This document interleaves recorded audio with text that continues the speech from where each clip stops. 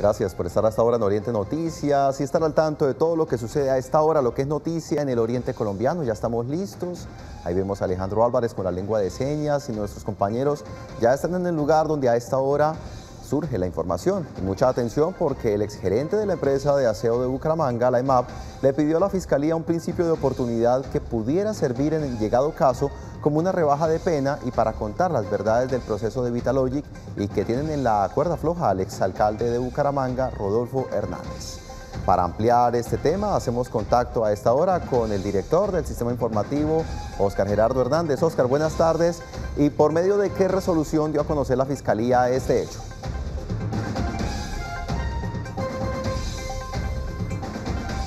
Hola, muy buenas tardes. Pues de acuerdo a la resolución 0132 de la Fiscalía General de la Nación, el exgerente de la EMAP, José Manuel Barrera, pidió este principio de oportunidad diciéndole a la Fiscalía que iba a revelar todos los detalles de cómo se haría el contrato de Vitalogic con la empresa de aseo de Bucaramanga EMAP.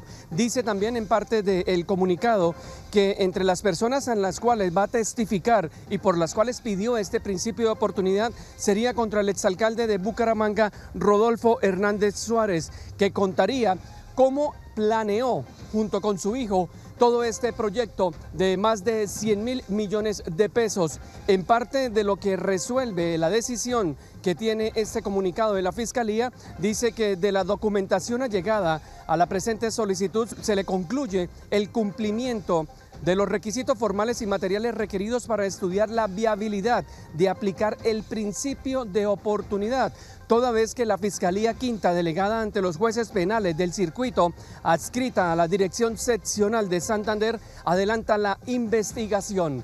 Esa es la noticia que se genera a esta hora. En los próximos días se dará a conocer también cuándo será esta primera audiencia para escuchar al exgerente de la EMAP en este principio de oportunidad. Soy Oscar Gerardo Hernández para Oriente Noticias. Estamos informando.